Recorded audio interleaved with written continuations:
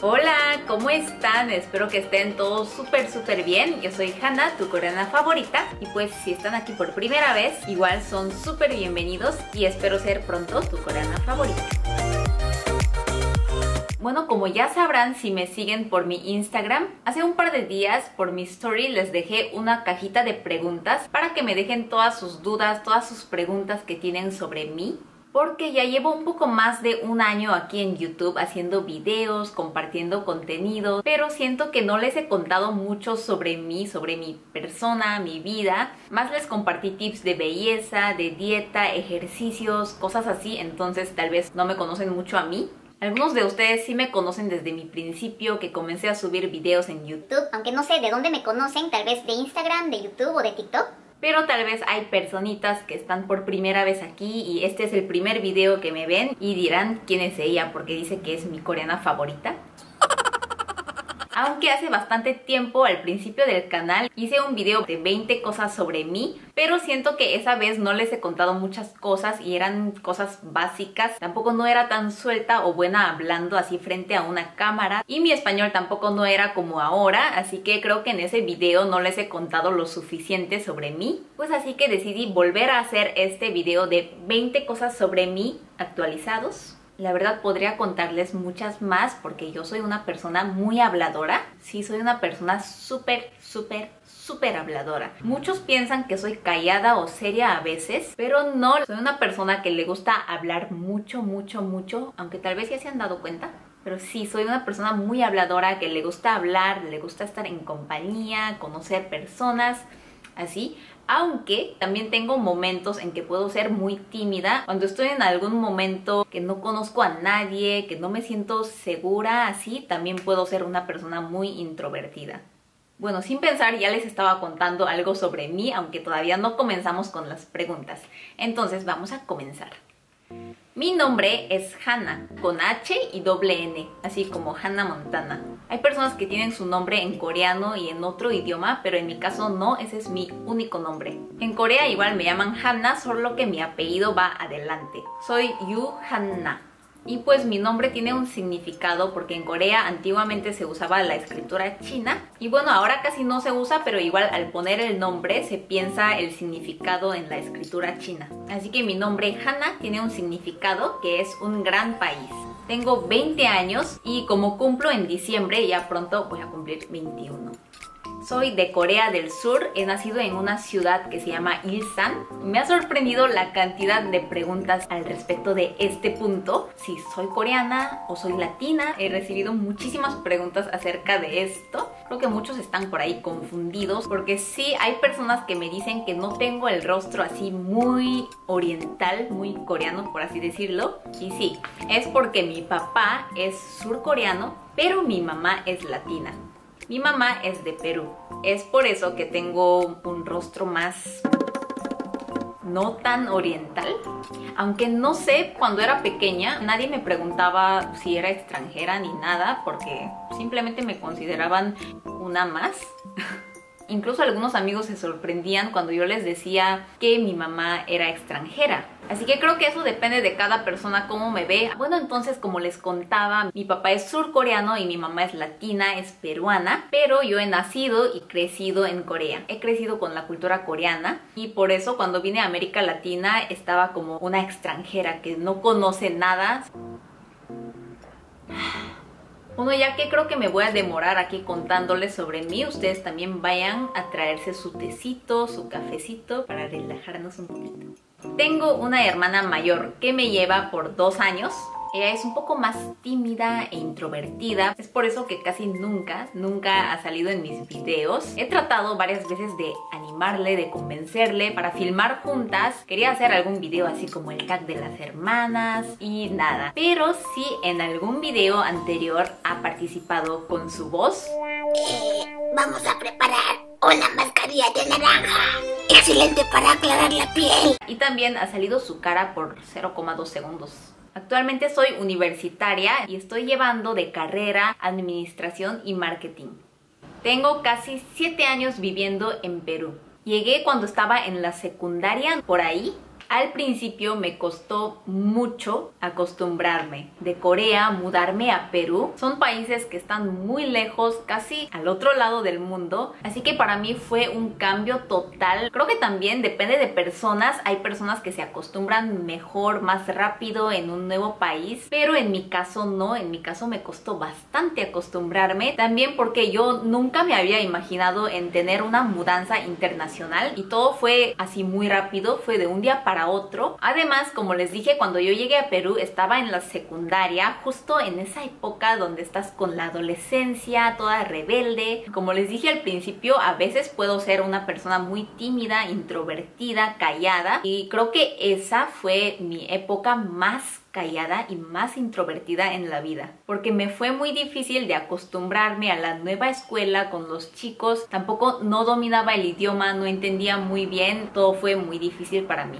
Ahora cuando pienso en esa época me arrepiento muchísimo y digo, hubiera sido más suelta, hubiera tratado un poquito más para poder acostumbrarme mejor, más rápido al país. Me vine a América Latina, me vine a Perú por el trabajo de mis papás y pues ellos tomaron esa decisión porque consideraron que un cambio de país, conocer nuevas culturas nos haría bien, nos haría aprender y madurar como persona.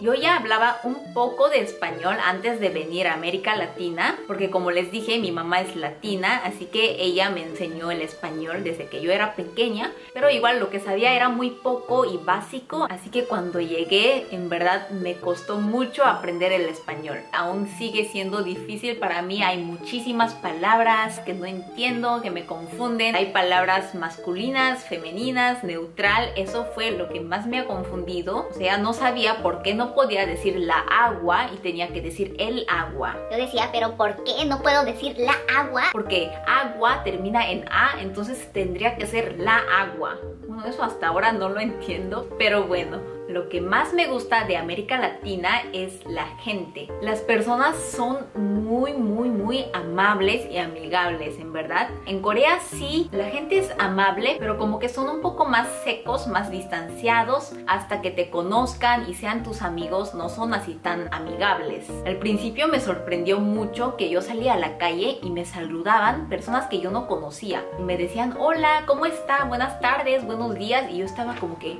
¿Me está saludando a mí? Porque en Corea eso no sucede casi.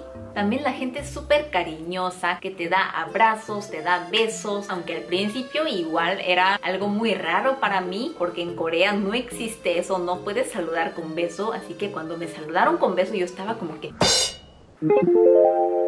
Y bueno, también la comida. Lamentablemente no he podido conocer muchos otros países de América Latina, pero hablando de la comida peruana, uf, es deliciosa. Increíble. Tiene muchos platos con diferentes ingredientes, diferentes preparaciones. Wow, en verdad amo la comida peruana.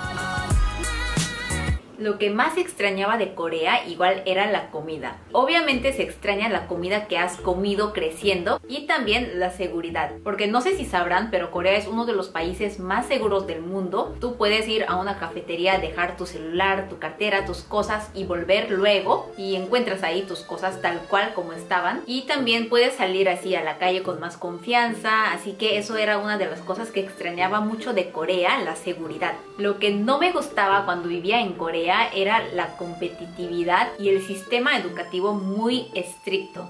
Cuando estaba en la escuela en Corea terminaba como a las 3, 4 de la tarde y luego tenía que ir a la academia para aprender anticipadamente los cursos que luego voy a aprender en el próximo año o en el siguiente semestre. Y pues en mi caso mi academia acababa como a las 10 de la noche, así que era muy cansado y no tenía mucho tiempo libre, mucho tiempo para mí empecé a hacer videos en YouTube sin pensar. La verdad nunca había pensado o planeado en ser youtuber. Tampoco no conocía mucho sobre este mundo. Como les dije, al tener una mudanza internacional y un cambio cultural así, también he tenido bastante soledad. Pues entonces todo así comenzó. Comencé a grabar unos videitos y siento que crear videos, compartirlo, todo esto me ayudó muchísimo, muchísimo para superar eso. Recuerdo que mi primer video que subí era como un blog y cuando vi que comenzaron a ver comentarios en el video. Sentí como que tengo unos nuevos amigos y me hizo sentir súper súper bien. Entonces así fue que yo comencé a compartirles videos por aquí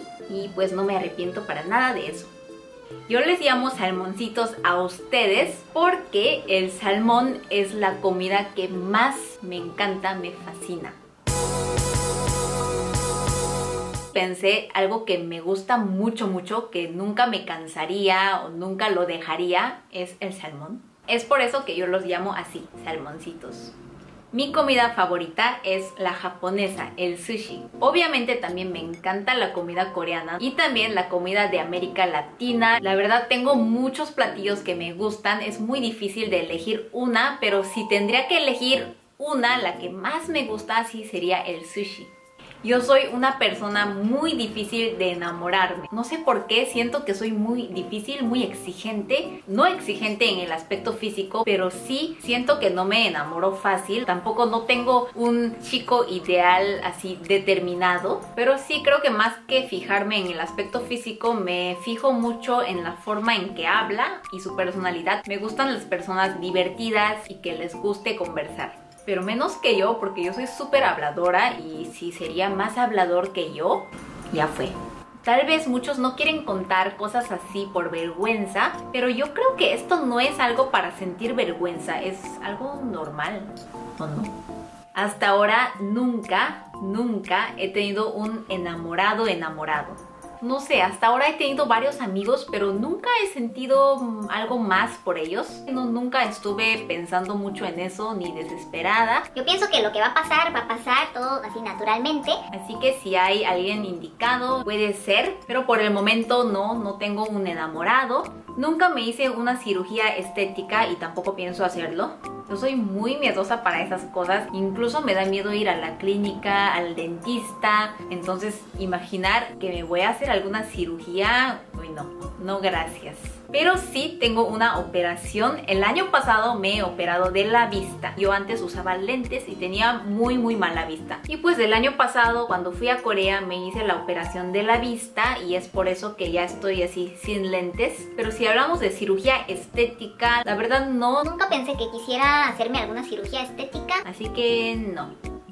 Una de las cosas que más me han preguntado ustedes es si hago alguna dieta en especial. Y no, la verdad no estoy haciendo una dieta en especial, pero sí en algún momento he probado también las dietas estrictas, dietas de los famosos, de los idols, pero al final no me ayudaron, no me han funcionado y más bien me han perjudicado la salud. Justo por eso también ahora tengo el estómago muy muy sensible, muy delicado y siempre tengo que cuidarme bastante, pero de ahí aprendí que la salud es lo primordial y ahora sí trato de cuidarme, mantenerme saludable. Comiendo balanceado, haciendo ejercicio. De una forma más sostenible y saludable. Bueno, si ustedes quieren, luego en otro video les puedo contar un poquito más sobre mi experiencia con las dietas, qué fue lo que me pasó, todo les podría hacer como un story time. Y por último, lo que más me gusta de mí es que soy una persona bastante activa y positiva. O sea, sí, también tengo momentos que estoy triste, que estoy deprimida, que estoy amarga, pero siento que se me pasa más rápido. También lo que me gusta mucho de mí es que me gusta hacer y probar muchas cosas sin saber si lo voy a poder hacer o no. No es que sea buena, que me salga todo bien. A veces también fracaso, me sale mal, soy un desastre. Pero igual me gusta probar e intentar para quitarme la duda. Y pues si no me salió bien, igual a la próxima me puede salir mejor.